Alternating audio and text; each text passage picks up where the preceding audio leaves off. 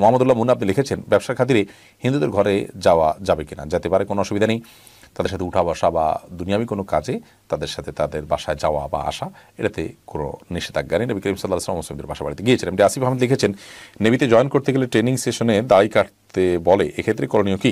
দেখুন, দাড়ি কাটা গুরাহের কথা, হারাম কথা।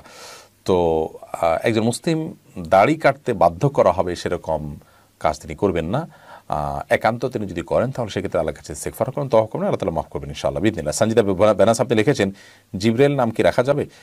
জিবরিল এটা যেহেতু ফেরেশতার নাম কোনো মানুষের নাম এটা রাখলে বড় কোনো গুণ হবে তা নয়, তবে এটা কোনো সালাফ বা পূর্বসরী, কোনো ইসলাম ইতিহাসে, কোনো মনীষী এরকম রেখেছেন বলে আমার জানা নেই, যার কারণে এটা রাখাটা উত্তম নয় বলেই মনে করি, আল্লাহ নবী সব সাদি আক্তার আপনি লিখেছেন, আমার স্বামী মারা গিয়েছে। তাছাড়া জিবরিল যেহেতু ফেরেশতার নাম এটা ফেরেশতার জন্য মানে শুধু নাম নয়, এটা তার একটা সিম্বলে পরিণত হয়েছে। সেটা আপনি কোনো মানুষের যখন যখন ডাকবেন সেটা সন্দেহাতীতভাবে এক ধরনের ধোঁয়াশা তৈরি করতে পারে। এসব নানা কারণে জিবরিল নামটা মানুষের জন্য না রাখাটাই উত্তম বলে আমি মনে করছি, আল্লাহ আলম। মাহবুজামান আপনি লিখেছেন, আমাদের মসজিদের ইমাম সাহেবের প্রতি আমার একটু মনোমালিন্য আছে, তার পেছনে নামাজ পড়তে আমার একটু দ্বিধা হয়। এখন আমি যদি গিয়ে দেখি সে নামাজ পড়াচ্ছে, তাহলে আমার করণীয় কি? নামাজ পড়বেন? নামাজ দ্বিধা হয় কী কারণে? আপনার মনোমালিন্য কী কারণে হয়? বা দ্বিধা কী কারণে হয়? সামান্য ব্যক্তিগত মনোমালিন্য যদি দ্বিধা হয়, তাহলে সে দ্বিধা, এটা দোষণীয়। আপনি নামাজ পড়বেন।